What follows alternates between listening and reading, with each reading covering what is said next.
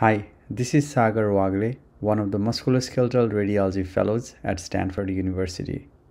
We have a 17 year old female with 4 months of elbow pain. The radiograph on the left shows a osteochondral lesion. This is a coronal MRI and this is a sagittal MRI. Here we see the osteochondral lesion of the capitellum. There is some increased fluid signal between the osteochondral lesion and the underlying bone and there is some cystic change at the interface as well. Here we do see the cystic change as well. The more the fluid signal there is in between the osteochondral lesion and the underlying bone, the more it indicates instability of the osteochondral fragment. Here we do see some area where the fluid signal is not as prominent.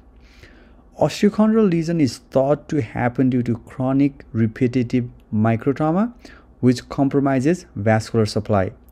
This patient was treated surgically with microfracture procedure. In the procedure, small holes are drilled into the bone and the idea is that it would stimulate vascular supply to the bone.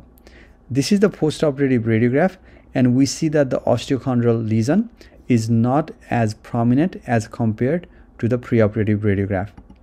Here we have another 17 year old female with elbow pain and here we see the osteochondral lesion of the capitellum.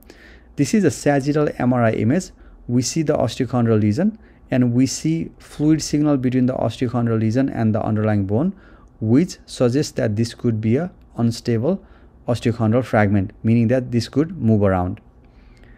This patient was treated surgically with a procedure called OATS, osteochondral autograft transfer system.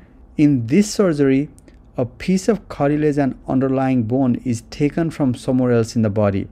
Most often, it is the knee, and that piece of cartilage and bone is put into the capitellum.